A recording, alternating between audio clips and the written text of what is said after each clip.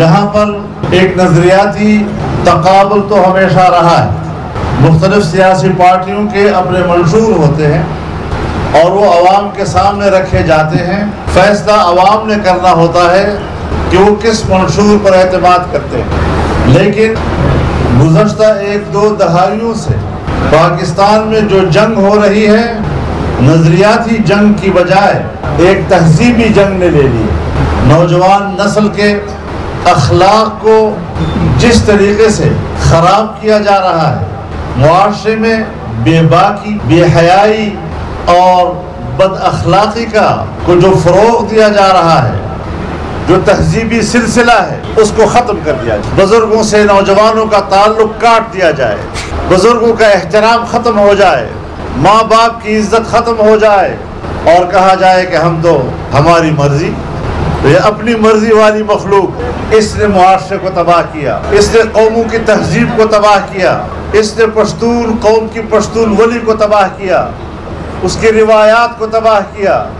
उसकी मेहमानदारी को तबाह कर दिया। ये बद अखलाक़ी इंसानी तारीख में मुनज़म तरीक़े के साथ, बाकायदा एक मुहिमजोई के साथ, बाकायदा एक बैनअवी फंडिंग के साथ इस तरह अपनी तहजीब के ख़िलाफ़ कोई तहरीक नहीं आई जिस तरह के इंसाफ के नाम पर एक तहरीक पाकिस्तान में काम कर रही है। मैं अल्लाह का शुक्र अदा करता हूँ कि इसका मुकाबला करने की अल्लाह ने हमें तोफ़ी अता की। ऐसी बातिल नज़रिए और बातिल तबके के खिलाफ अगर मैं अकेला भी लड़ूँगा तो इन सवाद आज़म कहलाऊँगा।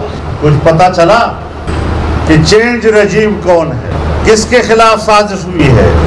कहते हैं, बैन अवी साजिश के तहत मुझे इकतदार से निकाला गया। बैन अवी ताकत के ज़रिए आपको नहीं निकाला गया। बैन अवी ताकत के ज़रिए आपको लाया गया था। हम तुम्हारी असलियत को जानते हैं। तुम्हारे पीछे कौन सी कुत कार फरमा है? और मुझे अफसोस इस बात पर है कि मेरे मुल्क की अशराफिया, एलिट क्लास, चाहे वो किसी इदारे से भी ताल्लुक रखता हो, उनके घरों के अंदर इनको सपोर्ट मिली है। वो बैनअवी नेटवर्क के साथ वाबस्ता रहे हैं। हमने कोई मामूली जंग नहीं लड़ी, लेकिन उनको इकतदार से उतारना, ये काफ़ी नहीं है अभी। अभी इसके नामो निशान को और इनके कदमों के निशान को भी मिटाना है। तो लिहाजा, हथियार नहीं डालने, मैदान जंग में रहना है, सियासी जंग लड़नी है आइन की जंग लड़नी है, लेकिन पब्लिक को बताना है। और मैं कराम से भी अर्ज़ करना चाहता हूँ कि अगर कोई ताकत हमारे नौजवान के अखलाक को तबाह करता है, बड़े छोटे का फ़र्क ख़त्म करता है, अपने बुज़ुर्गों से उसकी नस्बत को ख़त्म करता है तो सबसे पहला फ़र्ज़ कराम का बनता है कि वो गली गली कूचे कूचे मस्जिद मस्जिद, मदरसा मदरसा जाकर कौम को इस्लाम की राह राह बताएँ। अगर आप समझते हैं और अगर उनको ये ख्याल है अगर उनको ये ख्याल है कि मेरे पास भी कुछ मौलवी हैं तो इस तरह के मौलवी हज़रत फिरंगी के साथ भी हुआ करते थे। इनसे मरूब ना होना। ये हमारे कराम की छठी उंगली है जिसे हमने काट कर फेंक दिया है। अदलिया एक इदारा है। और अदलिया किसी भी रियासत के लिए एक नागुजीर इदारा हुआ करता। है और उसका एहतराम हम अपना फ़र्ज़ समझते हैं। उनकी इज़्ज़त तोक़ीर हम अपना फ़र्ज़ समझते हैं। लेकिन अगर एक फ़र्द अपनी ज़ात में जज के अहदे पर फायज होकर अपने रवैये से मुतनाज़ बन जाता है और वो अपने ऊपर फ़र्ज़ कर लेता है कि मैंने एक फरीक को तहफ़ देना है, अदलिया के इदारे को मैंने उसके हक में तस्लीम करना है और उसके लिए मैंने अदलिया को और इदारे को इस्तेमाल करना है तो मैं उनको बताना चाहता हूँ कि इसके बड़े दूररस नतज हुआ करते हैं। आप फौरी नतज को न देखा करें। आपने फौरी तौर पर तो एक फरीक को, जिसे आप चाहते हैं रिलीफ मुहैया कर दी, लेकिन दूररस नतज ये होते हैं कि इसी से रियासतें टूट जाती हैं। इसी से रियासतें तबाह हो जाती हैं। आज ये लोग हमें आज़ादी का दर्ज देते हैं। जिनके आबा अजदाद की पूरी तारीख गुलामी से भरी हुई है, जिन्होंने गुलामी के अलावा कुछ सीखा नहीं, आज वो नई नस्ल को आज़ादी का दर्ज दे रहे हैं। इसको पता है आज़ादी किस चीज़ को कहते हैं? आज़ादी के लिए तेरे आकाओं के साथ मेरे अकाबिर ने सौ साल से ज़्यादा का जिहाद लड़ा है। आज़ादी का दर्ज मेरे पास है। गुलामी का दर्ज तेरे पास है। मुझे अपने आबा अजदाद का किरदार भी मालूम है और तेरे आबा अजदाद का किरदार भी मालूम है। तुम्हें अपने आबा अजदाद का किरदार मुबारक। मुझे अपने आबा अजदाद का किरदार हमें मुआरे में जलील करने की कोशिश करोगे और फिर हमसे तो रखेंगे कि हम तुम्हारी खुशामद करें। जितना ताकतवर से ताकतवर कोई शख्स है, किसी भी इदारे में, मैं आज उनको पैगाम देना चाहता हूँ। कि दिल के कानों से सुन लो कि हमने किसी ताकतवर के रोब को तस्लीम नहीं किया। इस वक्त एक हुकूमती इतिहाद मौजूद पहली बात तो यह है कि ये सारे लोग एक जगह के हुए इकट्ठे हैं? मजहबी लोग, सेकुलर लोग, नेशनल पॉलिटिक्स करने वाले लोग कौमपरस्त लोग, इलाकाई, लेफ़्ट और राइट, सेंट्रलिस्ट, सब इकट्ठे क्यों हो गए हैं? इसलिए कि वो मुल्क को बचाना चाहते हैं। उनको पता है एक मुल्क दुश्मन अंसर पाकिस्तान में बैरूनी फंडिंग के ज़रिए, बैरूनी सपोर्ट के ज़रिए दाखिल हो चुका है और वो मुल्क को खोखला कर रहा है। और इदारों के लोग उनसे वाबस्ता हैं। जब तक वो इदारे के अंदर हैं, तब तक पता नहीं चलता। जब वो अपनी लिबास उतार लेते हैं और अपने लिबास में होते हैं, फिर हमें पता चलता है कि इस्लामाबाद प्रेस के क्लब के सामने कौन लोग इकट्ठे हो गए। मुल्क है तो फिर सब हम सब हैं। आज हमने नज़रियाती तो मुल्क को बचाना है। इसके जोग्राफिया को बचाना है। हमें अमानत सिखाते हो, हमें दियानत सिखाते हो। हम डर रहे हैं इस बात से कि अगर ये तहजीब चल रही है, अगर ये नज़रिया फ़रोग पा रहा है तो फिर पाकिस्तान की नज़रियाती शनाख्त हम ख़त्म कर दें। पाकिस्तान की नज़रियाती शनाख्त को हमने ज़िंदा रखना है।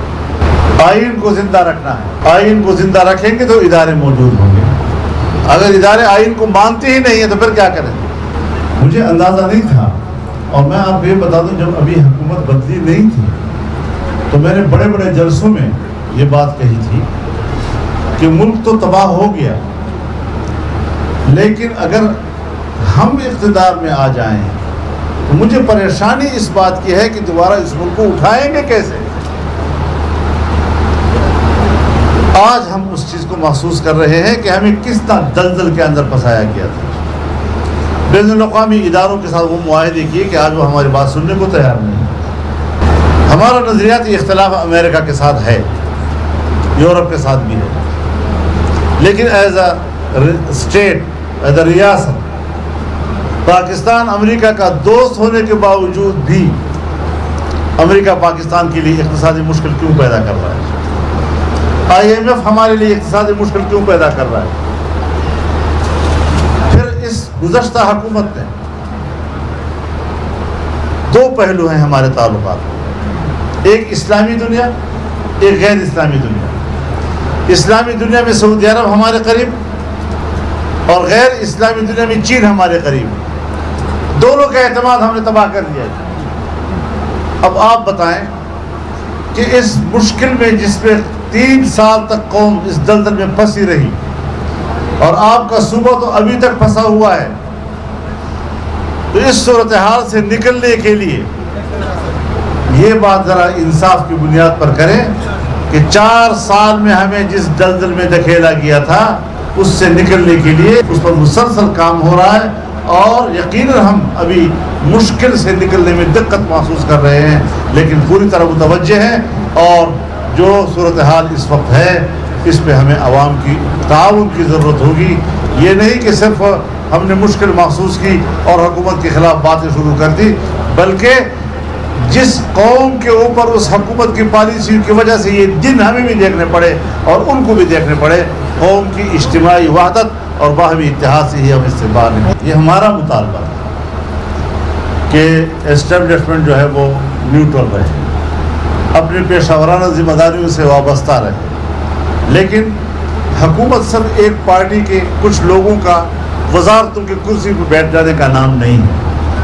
हुकूमत जो आवाम के मंतखब लोग होते हैं, इदारे होते हैं ब्यूरोसी है इस्टबलिशमेंट है, अदलिया है, ये सब बाहम मरबूत होकर इस मुल्क को मुश्किल से निकालते हैं और तरक्की के राह पे डालते हैं।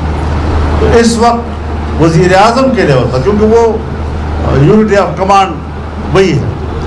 तो उस एतबार से वो तो तमाम इदारों के साथ रबते में हैं, जो उनके मातहत आते हैं। और उनके साथ वो वो काम भी मिलकर कर रहे हैं। हाँ अफराद से शिकायत हो सकती है, लेकिन इदारे से हम बात नहीं कर रहे हैं। हमें अदलिया के भी इदारे से कोई शिकायत नहीं लेकिन क्या हर केस जिस पे इमरान खान का फ़ायदा और नुकसान हो, वो तीन आदमी सुने के बस और कोई नहीं है पाकिस्तान में। यहाँ पिशावर में सारे फैसले एक ही जज करेगा। जैसे लगता है कि उसका जज नहीं है, उसकी पार्टी का रुकन हो, ये चीज़ें फिर महसूस होती हैं। तासर जो पब्लिक को मिलता है, जो हमें मिलता है, उसके इजहार का हक भी हमें तो अदलिया नहीं दिया है।